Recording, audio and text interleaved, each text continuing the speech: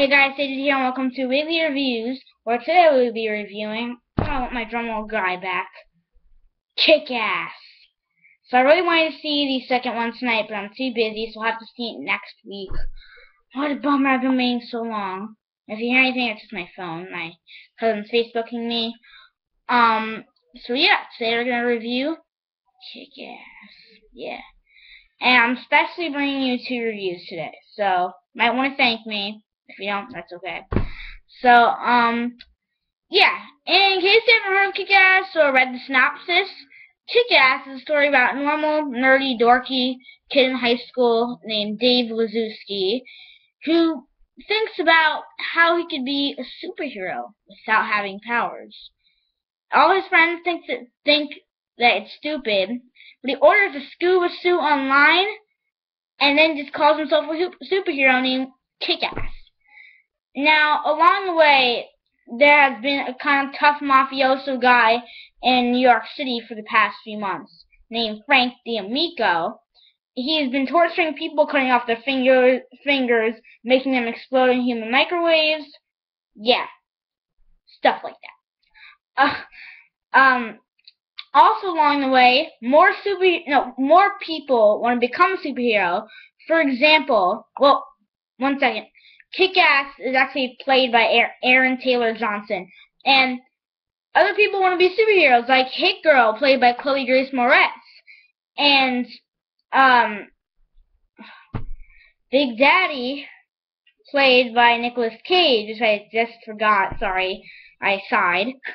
Um, oh, and also, um, Frank D'Amico is portrayed by Mark Strong. And then there's another superhero named Red Mist who wants to join Kick-Ass. Red Mist is the son of Frank D'Amico, Chris D'Amico. Now, Frank wants to kill Kick-Ass because he's been killing all of his men. Once he, once it turns out that he's killed a kid dressed up as Kick-Ass, he thought he was Kick-Ass, things get a little bit crazy. In this adventure, Kick-Ass, Hit Girl, and Big Daddy all have to, well, kind of search for Frank D'Amico, while Red Mist is kind of like that double agent kind of person in the flick. So let's just get straight to the review. Awesome, awesome movie. Now, when I saw this first in the theaters, I was around seven. Um, and my mom closed my eyes for like almost the whole movie because it was so violent. And I didn't like it too much when I saw it in theaters. And then I saw it a few weeks ago online again. I outrageously loved it. And I got it on DVD. It's now one of my favorite movies. It was so weird. I hated it for one second, and then the next second I just love it now. It's so weird. I love this movie. I love it. It's a great story, amazing ensemble. Like, whoever thought there would be a movie and a comic where there's superheroes without superpowers. This is like awesome. Like who would ever think that? Like it's just so cool. Like kick ass. You have no powers, but you're a freaking superhero. It's awesome. Oh, uh, never mind. That's for the weird sound. But it's just so cool that no powers, but you're a freaking superhero, and you're just beating people up and killing people. It's awesome. Now, I love Aaron Taylor Johnson's acting, like how he acted like a nerd and like a dorky kid and then became tough, kick-ass guy. Awesome, awesome movie. Amazing visual effects and how like the guy exploded in microwaves, spoiler alert. Um, like vis visually stunning, just like District 9 if you haven't watched my review. Um, just a superb like very cooked movie. Awesome, like amazing. Um, I don't know if Chloe Grace Moretz was the best casting or Nicolas Cage. I mean, Chloe. That's not true. Chloe, Chloe Grace Moretz was good in the first one. I I don't I don't think she's good in the second one. She's too old. Like it's like she's getting too old to be in the second one. It's a little bit weird the way she acts uh, in the second one, but in the first one, she was pretty good. Nicolas Cage, however, is not too good in this movie. Um, yeah. I thought he was really bad casting. He he just acted too low and calm, like like it's like we don't need you. Act like you're a tough big like act like you're tough. Your superhero's freaking name is Big Daddy. Be a Big Daddy. I mean, like that doesn't even make sense.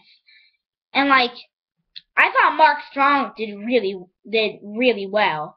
I mean, acting like this tough mafioso guy who's also kind of subtle. That was really good acting by him.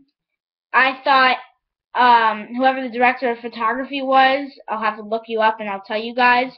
Um, thank you so much for making this great movie. Great photography. Um, great camera work also. Um, and what was I gonna say? Damn I forgot what I was gonna I I, what I was gonna say. What was I gonna say? I always forget stuff. Sorry about it. Wait, wait, I just had it, I just had it. I had it tip of my tongue and I forgot it. Again.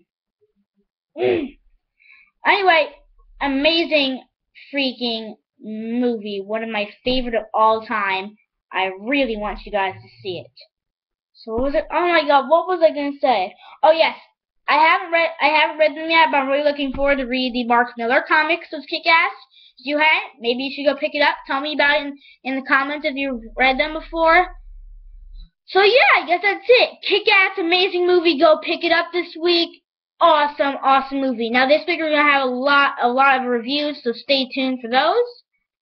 And it looks like we're gonna have to give Kick-Ass one. Hmm. Oh yeah, just, wait, just before I say the reading, before I say just before I say the reading, there's a lot of violence in this movie, and there's a lot of sexual content and language. Just before you see it, I was just about to say something. I always, always forget stuff.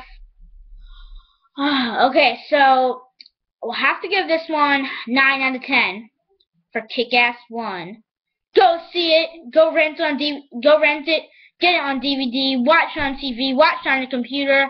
You have to see this movie. So, thanks for watching. Leave a comment and subscribe for more.